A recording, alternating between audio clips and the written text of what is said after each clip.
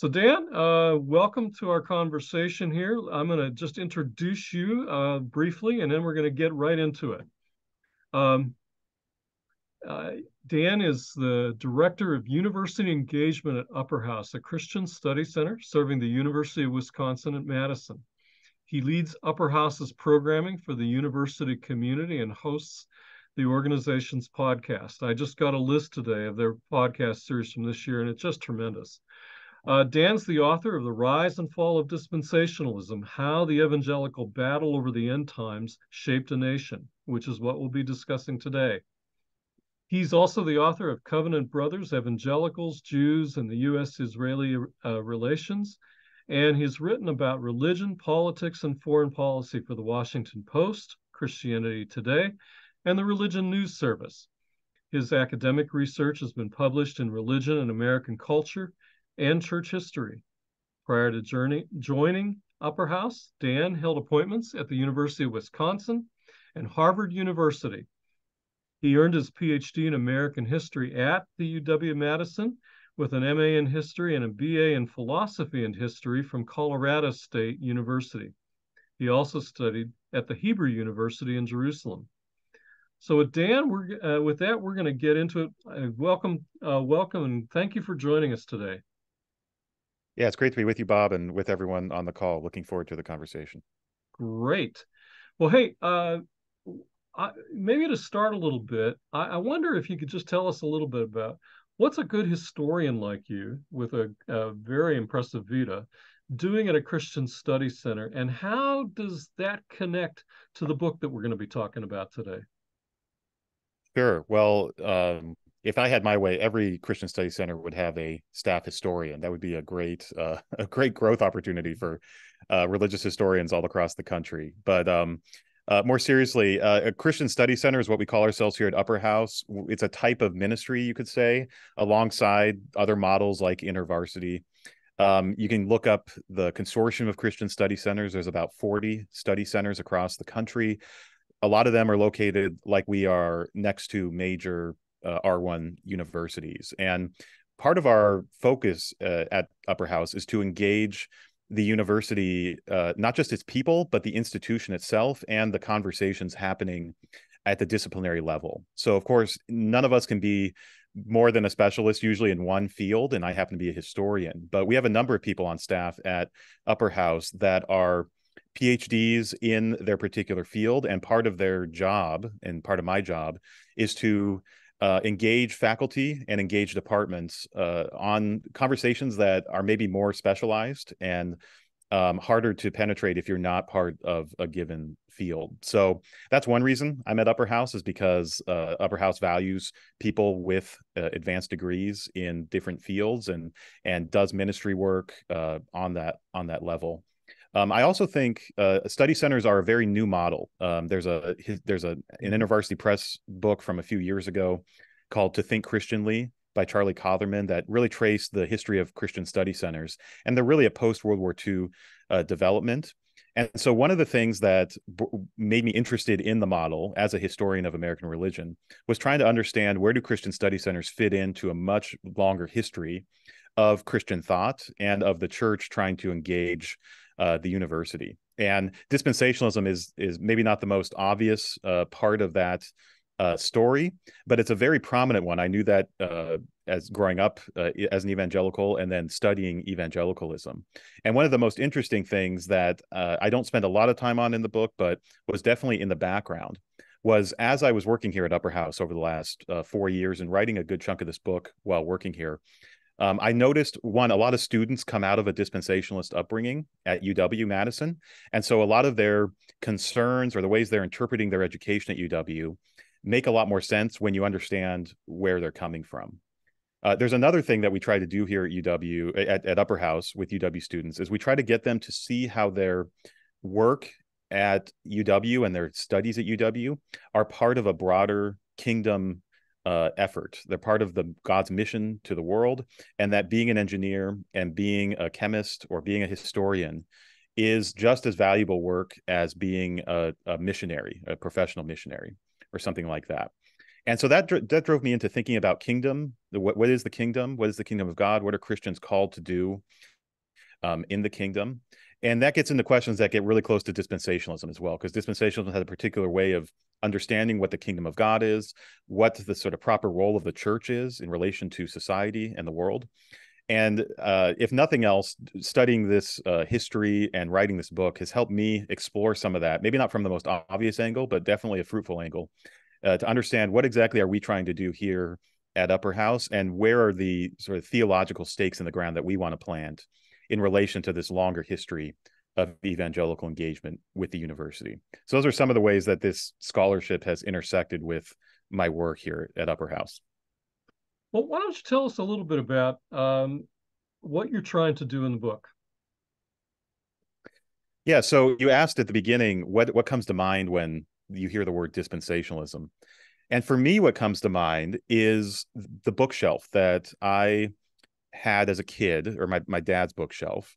And my dad had this line of books, and I start I start my own book this way with these very it was all capital letters very imposing theolog- theologians uh, people with the last names of walvoord and ryrie and pentecost and this was a whole generation i didn't know this as a kid obviously but this was a whole generation of dispensationalist theologians and scholars who really helped construct an entire subculture at least the the theological part of an entire subculture of evangelicalism that was uh, inherently or, or sort of implicitly dispensationalist. And dispensationalism is this tradition of theology that goes back, um, at least how I trace it, to the 19th century. And uh, it certainly has a system of theology goes back that far and is a major part of the story of American evangelicalism from then until now. And so I wanted to uh, I wanted to tell that story. I particularly wanted to intervene in two ways. And the first was on an academic level.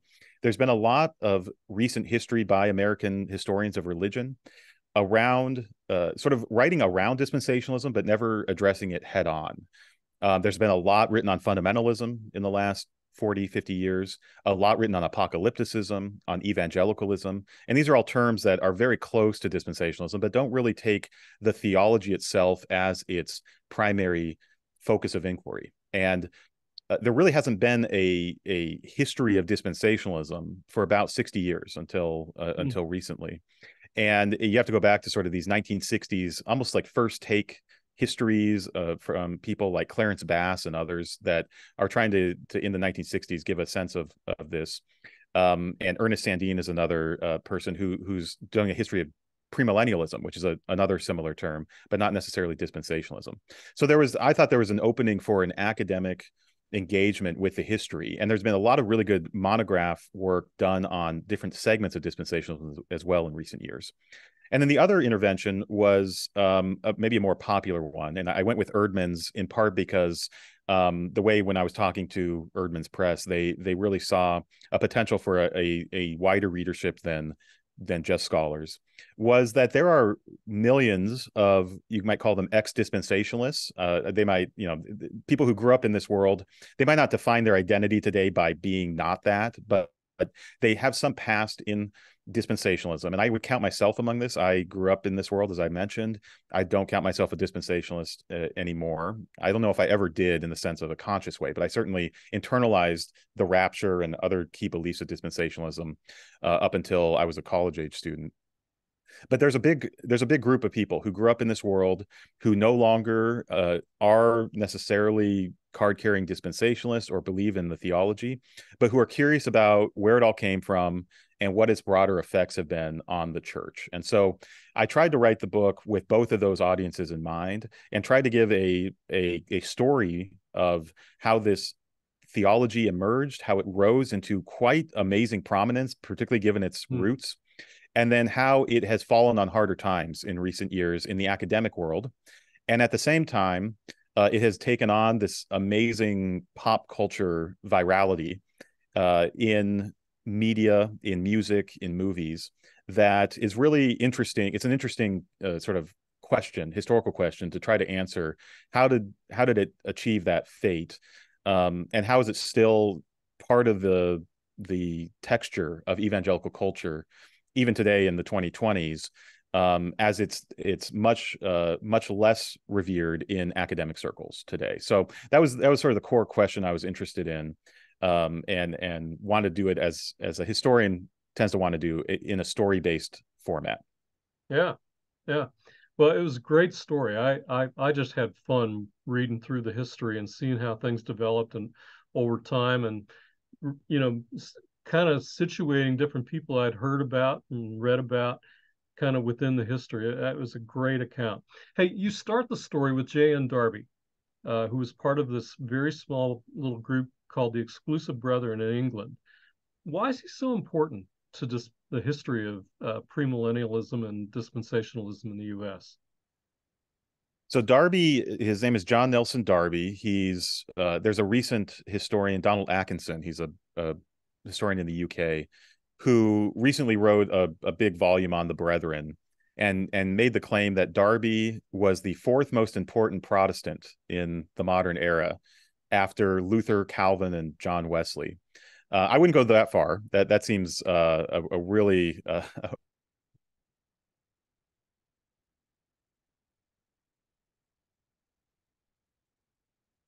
Dan, I think uh, I think you froze on us, or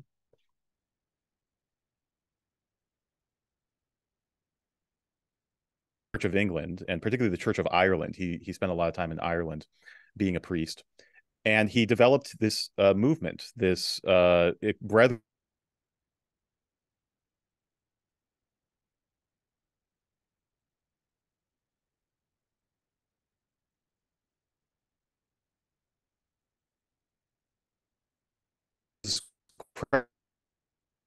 with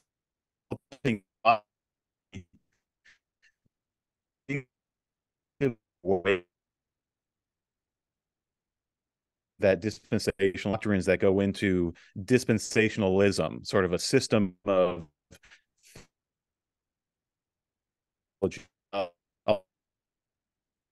Hey Dan, I should mention we're we're having uh, you, it looks like we're having some problems with you freezing up there, and uh, I don't know if there's something on, on your connection on here. We'll uh, we'll have Dan back here in a moment here. Um, uh, maybe while he's getting back on uh, and to give us a little more chance, I will. Um, uh, that's right. Has Dan been raptured? Okay. Uh, in the meanwhile, uh, let me tell you. We'll, uh, let me just put on here uh, the book that we're talking about, and we'll we'll we'll do a little book promotion while we're waiting for Dan to get back here. Uh, the book we're talking about is The Rise and Fall of Dispensationalism. And uh, uh, here's some information that we'll actually have in the chat as well about how you can order the book. Um, you can get it through Eerdmans. Uh, also, Eerdmans has a bookstore at christianbook.com where you can actually purchase the book uh, for a 30% discount. And so I might suggest that you consider doing that.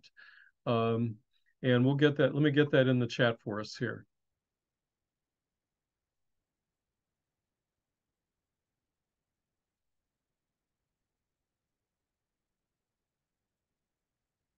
Okay, I think we have Dan coming back in here.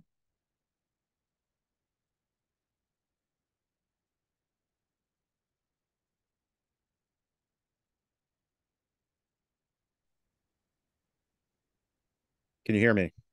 I can hear you. Let me get you back on screen here.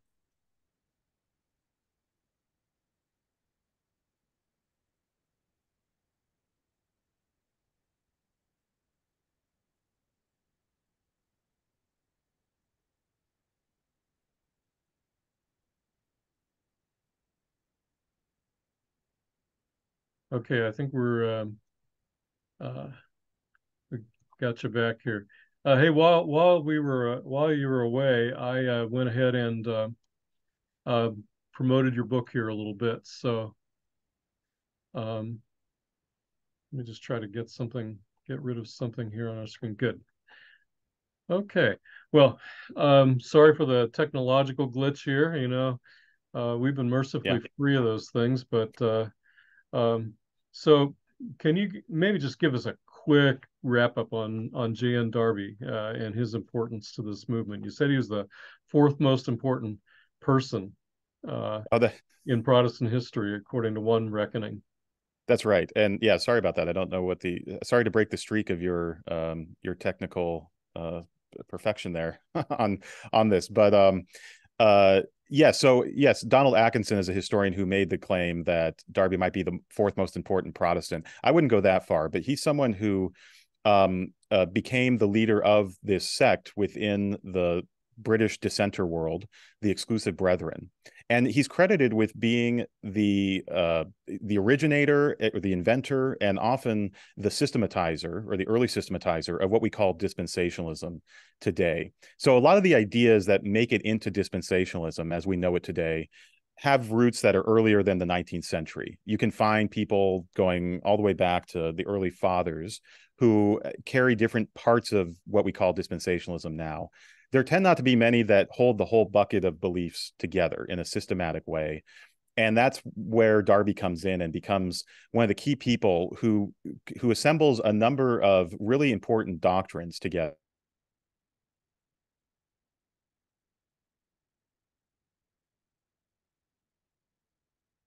When you say he or she is a dispensationalist until the 1920s, uh, actually, but um, but he is someone who is important to uh, putting together, particularly three teachings or three doctrines.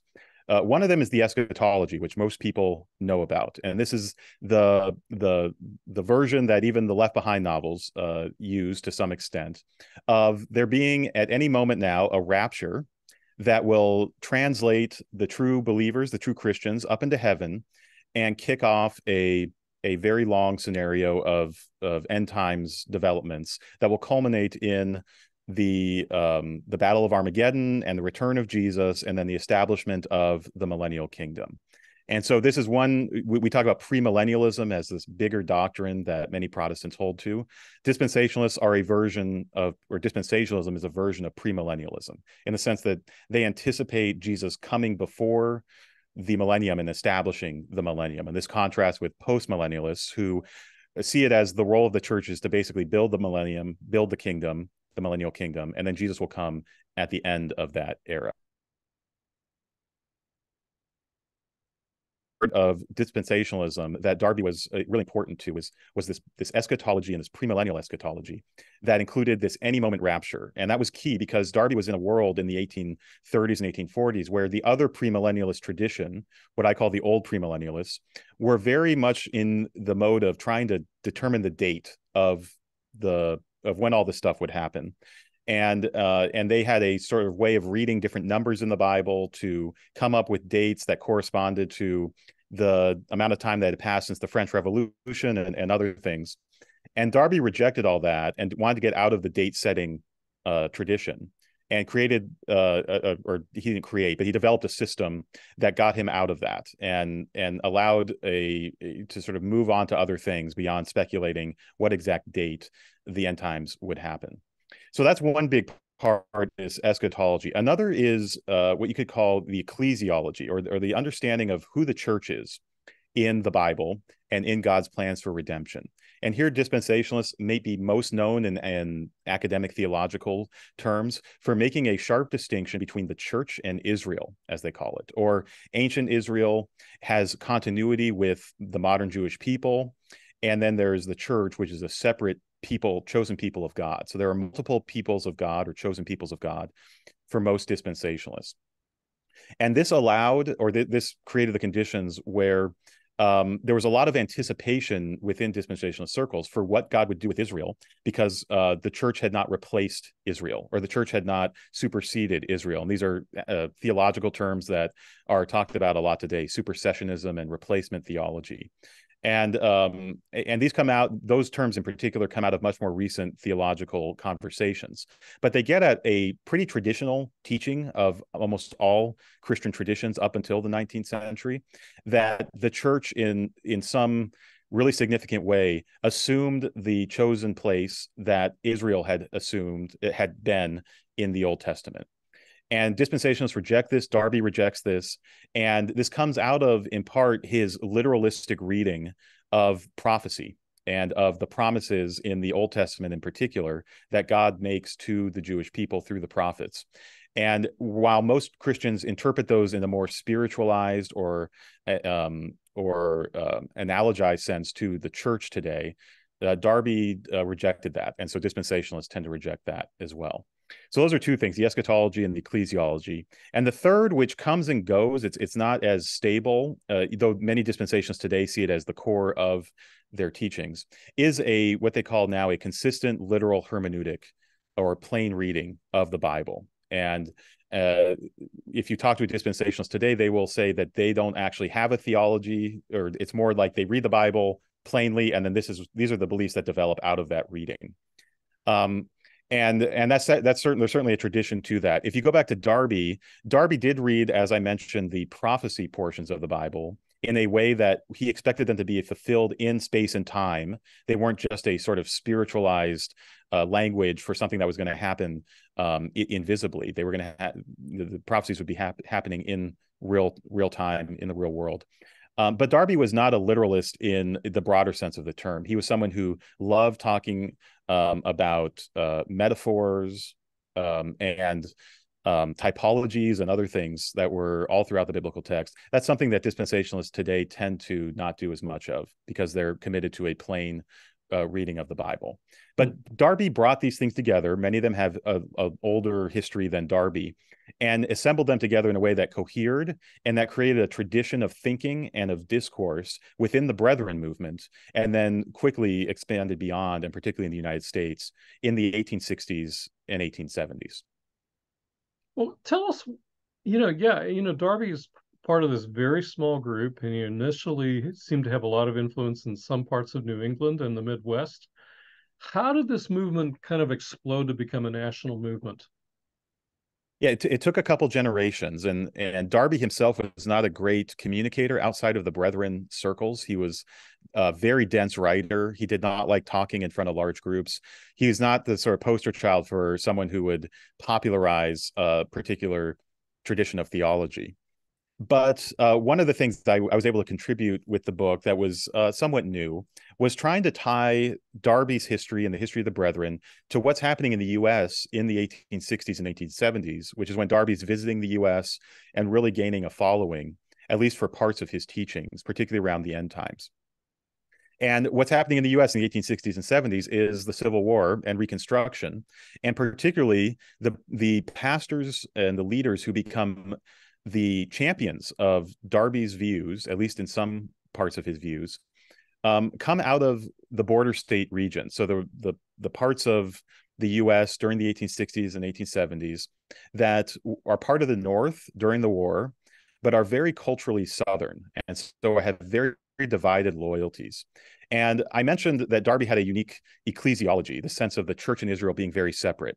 Well, Darby himself was very, you could even say he was a dualist on this. And he saw the church as God's heavenly people and Israel as God's earthly people. And for Darby, anything having to do with politics or society was an earthly concern. A heavenly concern was about um, was about missions and discipleship, basically. And so you can imagine, and this is what happened in places like St. Louis.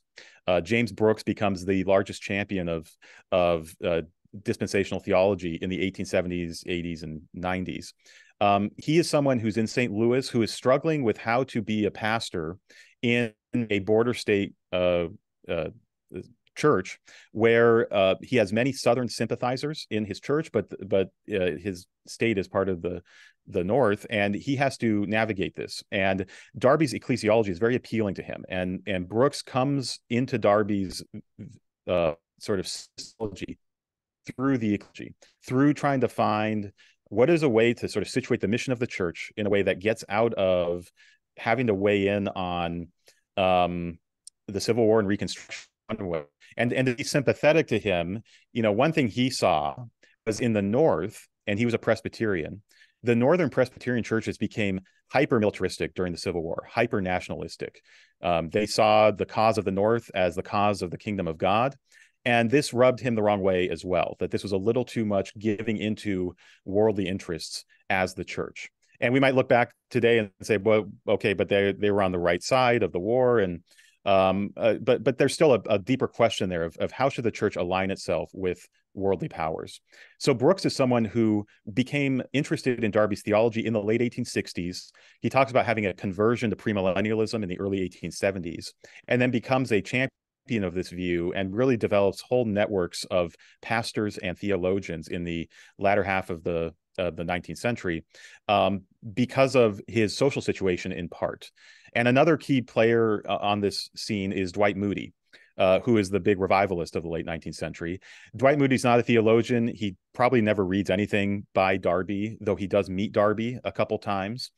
And uh, for Moody, it's much less about um, any particular type of, of esoteric theological conversation and more about his evangelism and understanding that time is short. Uh, Moody was uh, was uh, like to invoke the rapture and the potential of the rapture as a missionary and evangelistic uh, tool, and for this same reason around sort of weighing political versus what he would consider heavenly concerns.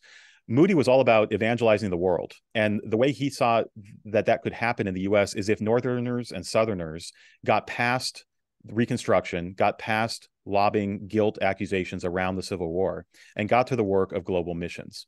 And so he was someone who promoted a heavenly view of the church, um, a spiritual view of the church's role in the world, and drew on brethren teachings to make that view because he in a sense did not want to get involved in debates over racial justice or the guilt of the civil war and thought missions was a much more important cause. And so the ecclesiology of darby of the brethren gave him the tools uh, to do that. So I track throughout the book sort of the influences of of these teachings on this generation of evangelicals in the U.S.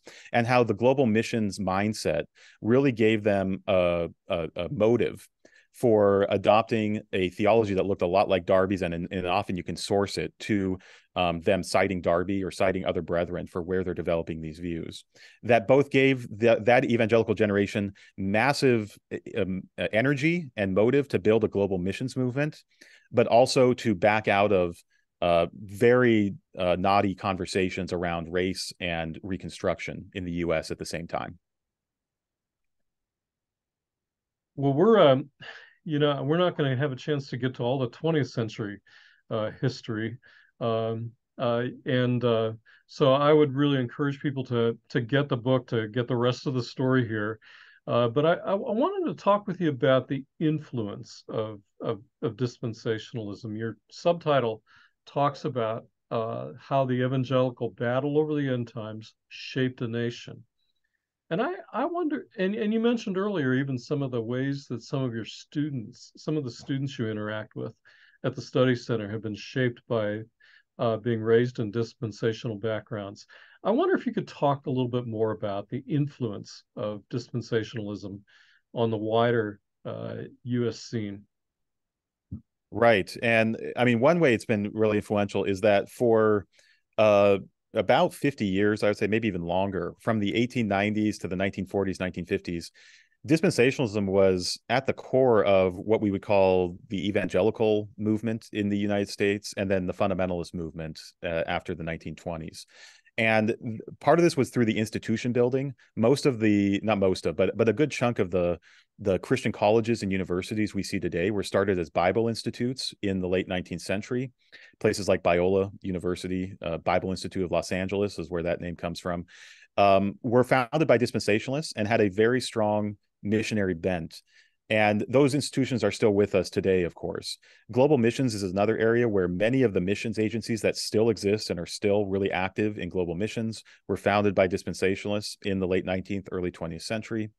And then while we don't do as many Bible conferences and uh, Bible camps today as what we did 100 years ago or 150 years ago, those uh, networks were dominated by dispensationalists, uh, and many of them were founded by dispensationalists in the 19th and early 20th centuries. So much of the infrastructure of modern evangelicalism is uh, is owed a debt to dispensationalism, and it, you know things have changed, and and different uh, leaders have come and and and reshaped some of that theology. Um, but uh, but it's really important to acknowledge that that that a lot of evangelicalism, and to the extent that evangelicalism has shaped American culture, um, is owed to dispensationalism. On a broader sense, um, uh, dispensationalism has been uh, sort of the, the, themes of dispensationalism, the themes of premillennialism, of a decline in the world, uh, of, of sharp ruptures in uh, history, um, and of, of a future redemption uh, that will come um, maybe from from an outside force. Um, I find these all over the place, either in people who grew up in a dispensationalist world, who then left that and have written in culture or politics, um, or on direct influences. Uh, if you think of the 1970s, for example, um, the best-selling book of the decade, the non best-selling nonfiction book of the decade, was Hal Lindsey's *Late Great Planet Earth, which was a yep. popularized version of dispensationalist eschatology, sold over 10 million copies in that decade, and really shaped a whole generation of, of Christians and, and beyond Christians, and really shaped a lot of what we might call the futurology of the last 50 years, the way that people are sort of trying to read the tea leaves of what's coming next for American society or Western society or the globe. Um, th- those can be traced back to really key dispensationalist contributions. And then in an even wider sense, um, I talk about the end of the book, a sense that in in many ways uh, the U.S. has a secularized premillennialism um, at, in the way it talks about what's coming next in uh, in U.S. history. And if you compare it to, say, the 1950s or 60s, where if you just take something like sci-fi or, or TV, there's a very optimistic sense of where humanity was going, of where the Earth was going, of where science would take us. And if you if you fast forward to today, there's a lot of uh, pessimism, or there's even a lot of opaqueness about what exactly is coming next. I mean, we're all talking about AI right now. What is the future of that? And there, there's a lack of of optimism, a lack of certainty about the future. I don't want to credit all that to dispensationalism for sure, but I want to say that dispensationalism and the way it is manifested in pop culture has been part of the equation for how Americans more broadly have talked about the future and talked about whether we're declining or rising and whether that's an inevitable decline or or something we can we can change and ultimately whether there's a spiritual solution to that or there's a technical or social solution uh, to improving uh, the to improving the world for the future. I think dispensationalists have been involved on all those levels in various ways. Maybe not at the elite levels of culture, uh, in the same way that that a place like you know Harvard University would be or something like that. But mm-hmm. certainly on the popular level, it'd be hard to tell that story uh, without dispensationalists in the mix. Yeah. Absolutely. Well, hey, uh, we're going to move right into audience Q and A here. Uh, I think we have a couple of things already in here. Um, uh, Min Minsuk, uh, I hope you're. I'm getting close to pronouncing your name correctly. Uh, she says, I've heard of studies of American economic history during the Great Depression that trace the rise of the fundamentalist evangelical parachurch group and its close collaboration with corporate capitalism in opposition to the New Deal. I'm curious about how the anti New Deal political camp connected with parachurch group leaders who held a dispensationalist worldview and who played key roles or served as intermediaries. Interesting. Yeah, great, great question. Um, yes, there, there's some definite overlap there. I would say the best book on this is um, Darren Dochuk's work, um, both on uh, one of his older books is called From Bible Belt to Sun Belt that looks at um, a lot of these developments.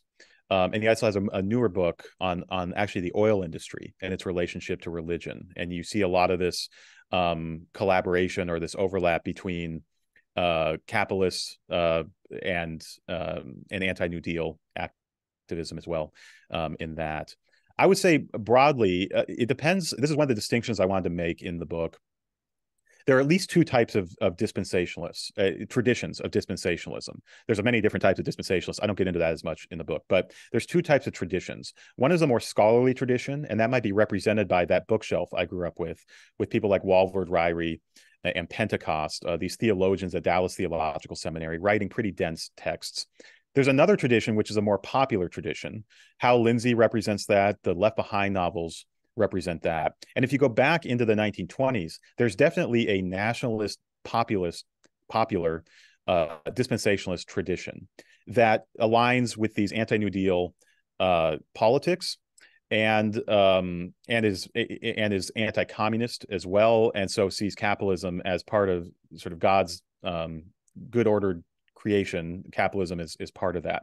Uh, uh, one key figure that I talk about that a lot of people have talked about is William Bell Riley, who was in the the Twin Cities, had a sort of media empire, um, uh, had a school, had a big church, and was a national figure in the anti-evolution movement in the 1920s and then was a major opposer of the New Deal in the 1930s, and someone who um, was widely respected among the fundamentalists. Uh, he helped create a number of fundamentalist organizations. Um, he was also someone who trafficked in anti-Semitism and and and merged that with uh, anti-communism and became a very problematic figure at the end of his life uh, for some of those views, including um, uh, lending support in the 1930s to the Silver Shirts, which was a, a sort of Nazi American Nazi organization. Very uh, you know interesting history, very complicated history. But he's someone who who merged dispensationalist teachings with these politics. And he set the tone, you could say, or set a model for a type of populist nationalist dispensationalist engagement that tracks uh, through the rest of the 20th century. Um, and people will cite him. People like Tim LaHaye, who came later, uh, was the key, obviously, co-author of the Left Behind novels, but also very involved in the Christian right and Republican politics, um, it, all through, you know, uh, much very recently when he died. Um, he's someone who cited Riley as a as an inspiration and as a model. And other people like Jerry Falwell and others come out of the same uh, Baptist tradition and and modeled uh, modeled their politics the same way and and wedded them to this dispensational theology. So there's definitely a story there, and a lot of it does. I actually focus a lot on the 1930s and 1940s, for where there's this fusion, as one um, dispensationalist at the time called it, of of politics and theology walking hand in hand, and they were they were actually wanting that to happen, and uh, that comes out of this period in particular. Hmm. So those precedents go a lot further back than the 1970s and 80s. Uh, uh, That's right. Many That's right. of us are more familiar with.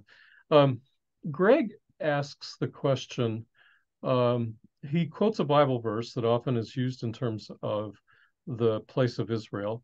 He says, This is what the Lord says He who appoints the sun to shine by day, who decrees the moon and stars to shine by night, who stirs up the sea so that its waves roar. The Lord Almighty is his name. Only if these decrees vanish from my sight, declares the Lord, will Israel ever cease to be a nation before me. And uh, he asks if you would comment uh, uh, on that verse in sure. some of your work.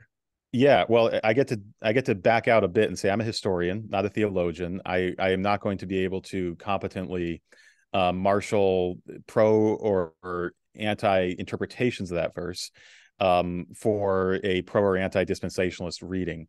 What I can do is say, um, you know, these verses, this one among many others, have been the center of constant conversation going back to at least the 19th century, of course, and way before that.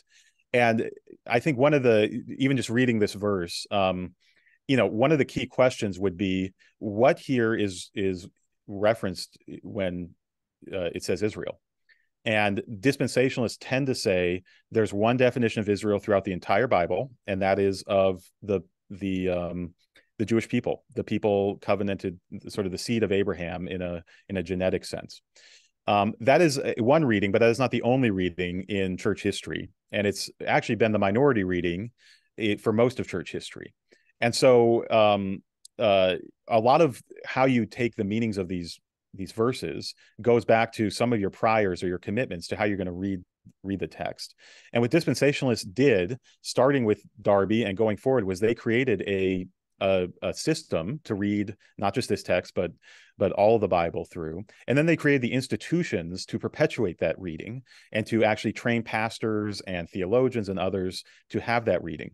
Um, but they weren't the only ones doing that. And one of the the storylines i trace through the book is, particularly in the 20th century, is this development that happens within the evangelical world between what end up being called covenantalist and dispensationalist theologians or traditions. And a lot of our denominations today still break down on are they more covenantalist in their theology or more dispensationalist in their theology? And um, both of these uh, traditions come out of the fundamentalist movement. They both have their constituents, and they spend a lot of the next few decades, the 1940s through the 1960s, building institutions to try to, in a sense, win this argument within the conservative Protestant world in the US.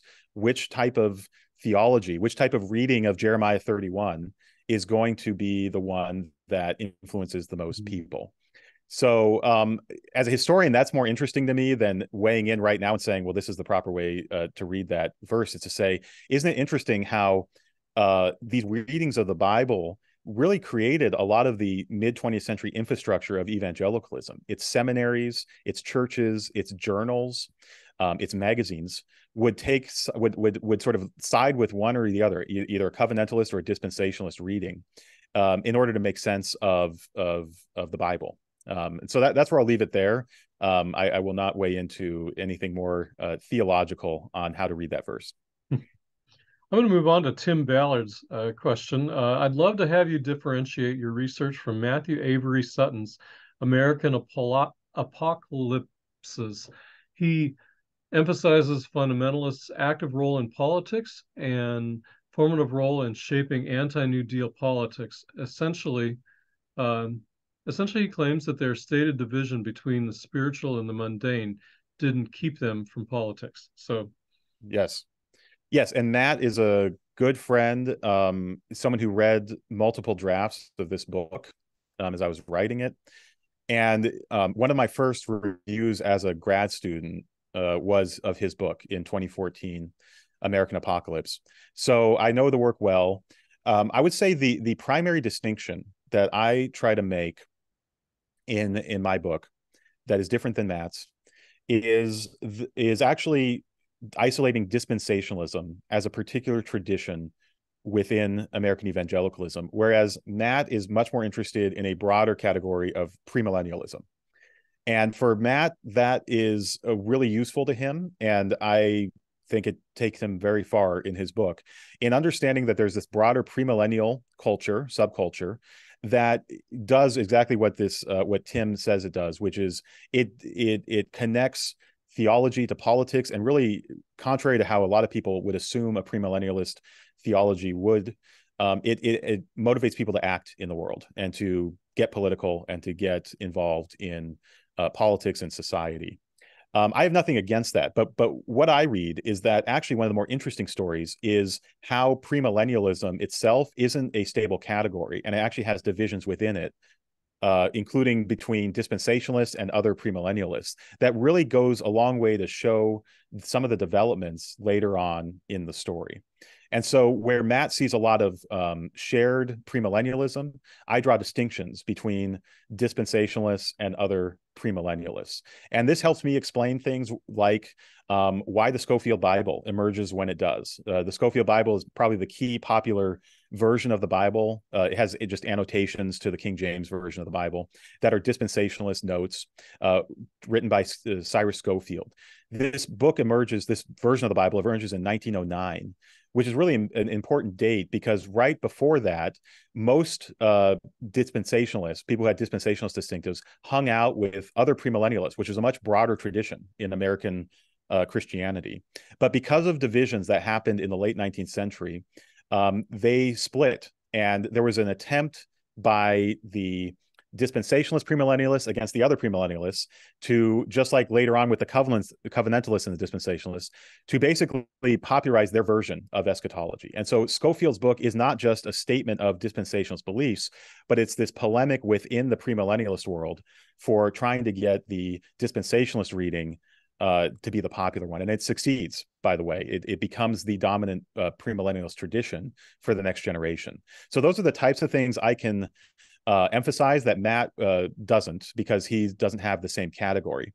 I would say Matt's book is in a very strong lineage of histories of evangelicalism that go back to Ernest Sandeen's important book, in 1970, The Roots of Fundamentalism, that combines all premillennialists into one category. And I really wanted to emphasize, again, as I said at the beginning, that dispensationalism was an important, distinctive tradition that developed and it, it, it sort of shares history with these other uh, categories, but is also interesting to, on its own.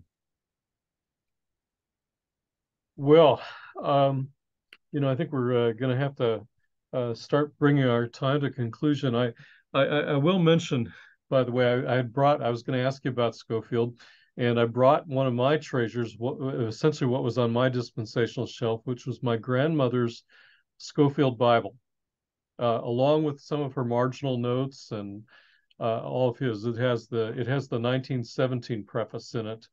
Uh, but uh, yeah, so this was uh, that was my own show and tell for our conversation today. well, anyhow, Dan, I wanted to um, invite you to have the last word here and uh, uh, just uh, take us out in terms of uh, your thoughts about. Uh, you tell us, you know, anything you want to tell us about the importance of this book and why you think people ought to get it, and anything else that you have to say. Yeah, well, I would say if if um, if what we've talked about here whets your appetite, there's um, there's a there's a lot more where this sort of looking at the different theological camps within evangelicalism and fundamentalism. There's a lot more that comes from uh, in the book. I would like to to end actually on uh, uh, Greg made a comment right after um, uh, later on. He said, "So dispensationalism seems to have propagated the Christian faith. This strikes me as being a positive outcome." And I agree with him. And uh, while I am not a dispensationalist, and I have some quite uh, critical things from a historian's perspective to say about popular dispensationalism, um, and I also eh, sort of just trying to play a referee here, I think uh, academic dispensationalism has fallen on hard times. All that being said, um, what I what this book is not is some type of polemic against dispensationalism as a theology. That I'm not even equipped to make that argument, and that wasn't the point of the book. And I want to I want to actually end. Uh, I want to highlight a quote I have at the end of my introduction, which is from one of dispensationalists' uh, biggest uh, critics in the 20th century, George Eldon Ladd. He was a professor at Fuller Seminary uh, for many years, but he was a premillennialist of the non-dispensationalist type. And here's where these distinctions that I make help me sort of tell parts of the story that other historians can't. And this is a quote from Ladd, who spent the first part of his career basically critiquing dispensationalism. And he says, this is from 1952. He says that it was doubtful if there has been any other circle of men other than dispensationalists who have done more by their influence in preaching, teaching, and writing to promote a love for Bible study, a hunger for the deeper Christian life, a passion for evangelism, and zeal for missions in the history of American Christianity. And you might not you might not agree with that uh, the, the sort of uh, fullness of that statement, but I certainly saw that in the historical record that dispensationalists were very committed to evangelism and to teaching the Bible. And I think if you talk to a lot of people even today who grew up in that world, me included, these are some of the things that um, ex dispensationalists take with them from the tradition. Um, so uh, th- I want to balance that quote and say, I want to affirm that. And I want to say, there's a lot to learn here, even for uh, people who are dispensationalists from my book, even, even if it is critical at times. Uh, but of course, that quote's incomplete, and there's a lot more to the story than the things it lists as well. And, and I try to go through some of that uh, in the book as well. But what the book isn't is some type of uh, polemical book. Uh, it is attempting to be a history and to update uh, a historical understanding of this, um, and to do it in a way that is hopefully entertaining uh, as a story. Um, so, with that, thanks, Bob, and thanks everyone for being on the call. It's been fun talking to you. Likewise. Um, I know we've gotten a few questions at the last minute. We'll leave the connection after we end the recording. We're, we're going to leave the connection open for a few minutes and if Dan has some time to talk about some of those things, you're welcome to stay on and engage with him if you have the time. So with that, um, let me once again put into our chat uh, some of the information about how to get Dan's book. Um,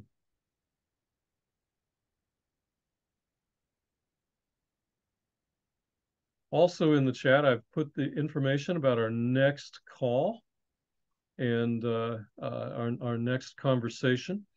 Uh, let me just share a little bit, share my screen here with a little bit of that information. So as you, uh, as, as, we mentioned, uh, our book today is uh, Dan Hummel's The Rise and Fall of Dispensationalism.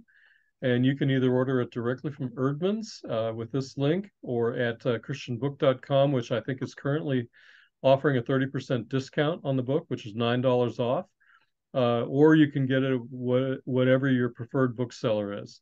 Um, our next conversation, um, I think a lot of people have really uh, struggled with uh, what's happening in the landscape of the church in this country. Uh, and uh, after four decades of ministry, Anglican Bishop Todd Hunter is no stranger to the experiences of betrayal and pain in the church but he's still hopeful. He's a leader of the church. He uh, he believes more than ever that Jesus is who the world needs and that Jesus has plans for his followers. That uh, the story's not over. Uh, he is the uh, he leads the churches for the sake of others, a diocese of the Anglican Church in North America, and he is the founding pastor of Holy Trinity Church. And so that conversation is going to be on October 25th at 1 p.m. Eastern Time. And uh, I, uh, the registration link is in the chat, and you're welcome to sign up for that today if you'd like to join us. Finally, uh, we just want to say thanks uh, to everyone who uh, was a part of the conversation today. Thank you for your questions. Um, Dan, thank you for joining us today and talking about your book. Um, we appreciate the Eerdmans folks for the work that they've done and for the review copy that I got uh, uh, to be able to engage our conversation. Uh, our conversation is hosted by the Emerging Scholars Network. Uh, you are welcome uh, not only to join these conversations, but we'd love to have you join the Emerging Scholars Network. Just go to blog.emergingscholars.org and there's a join button at the top of the page. Uh, you can find other information about uh, the Emerging Scholars Network on Facebook, Instagram, and Twitter. Just go to at ESN IVCF. And finally, um, this uh, video and other videos uh, that we have done are posted on our YouTube channel. Uh, you can go to youtube.com slash ESNIVCF and uh, view those videos or share them with other people, which we would love for you to do. So with that, we're going to say thank you for joining us today. Uh, we uh, really appreciate those of you who've been a part of the conversation.